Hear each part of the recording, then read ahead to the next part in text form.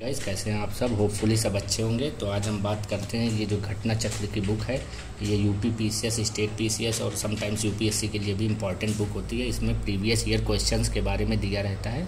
तो ये करंट है 2023 की है। चैप्टर वाइज सॉल्व पेपर है जनरल स्टडीज़ का पूर्वालोकन इंग्लिश वर्जन है ये इसका। इसका हिंदी वर्जन भी आता है। So if you want you can go with Hindi version और ये इंडियन हिस्ट्री की है। देखिए कि यहाँ पे लिखा है includes question paper from 1992 January 2023 along with U P P C S mains G S question papers ये सारे इसमें पैटर्न हैं। अब हम इसके अगर बैक की बात कर लेते हैं। तो बैक में भी ये डिफरेंट बुक्स ये क्योंकि हिस्ट्री की आती है जियोग्राफी की भी आती है इंडियन पॉलिटी की भी आती है डिफरेंट टाइप्स की आती हैं।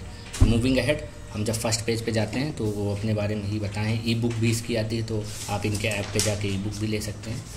I am not promoting this बस मुझे बुक के बारे में बात करना है तो इसके इंडेक्स पे चलते हैं। तो इंडेक्स पे इंडेक्स पे जैसे कि देख सकते हैं आप एंशियंट हिस्ट्री के, इसमें बस previous year question ancient history के ही हैं।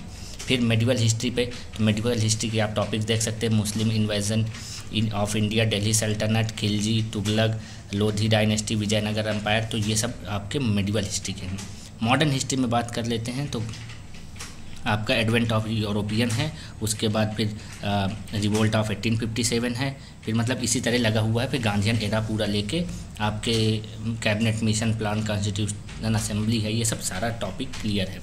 इसमें यूपीएससी के भी क्वेश्चन हैं, मैंने इसको पहले भी बता दिया है। अबाउट बुक के बारे में इन्होंने बताया है यहाँ पे nothing much question paper analysis के बारे में बताया है। अब देखिए क्वेश्चन पेपर एनालिसिस में इन्होंने बताया IAS exam IAS pre exam 2011 से 2022 के रखे हैं, इसमें क्वेश्चन इन्होंने बताया। तो देखिए, कितने जगह के हैं, झारखंड पीसीएस के हैं, बिहार पीसीएस के हैं, राजस्थान पीसीएस के हैं, छत्तीसगढ़ पीसीएस के हैं, उत्तराखंड पीसीएस के हैं यूपी पीसीएस तो है ही है यूपी लोअर सबॉर्डिनेट का भी है मतलब ऑल ओवर ऑलमोस्ट सारे एग्ज़ाम को इन्होंने कवर कर लिया है। तो अब मूविंग अहेड मैं अगर इसमें आगे बढ़ता हूँ, आपको ज़रा क्वेश्चन दिखाने की कोशिश करता हूँ तो मैं आपको लेके चलता हूँ। मॉडर्न हिस्ट्री पे।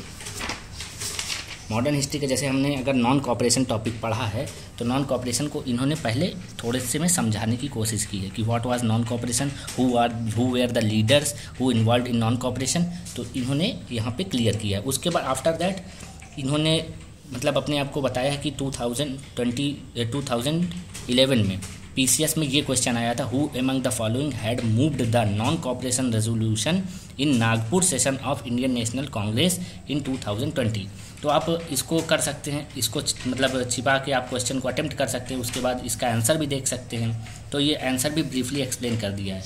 अगर इसकी फॉन्ट की बात करूँ तो फॉन्ट ही बहुत क्लियर है मतलब जेनविन बुक है। इसका M R P six hundred है, आप देख सकते हैं।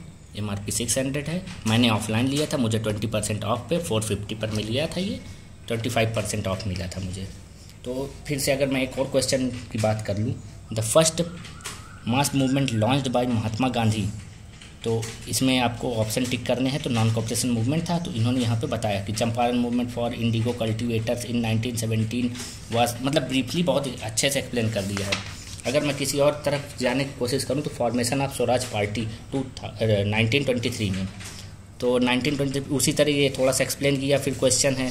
तो ये चीज़ मुझे थोड़ा अच्छी लगी और टॉपर्स भी रिकमेंड करते हैं कि this book is very useful for the P C S exams तो यू कैन गो विद और इसका हिंदी वर्जन भी आता है। आप इंग्लिश नहीं लेना चाहते तो you can go with Hindi version अगर थैंक यू सो मच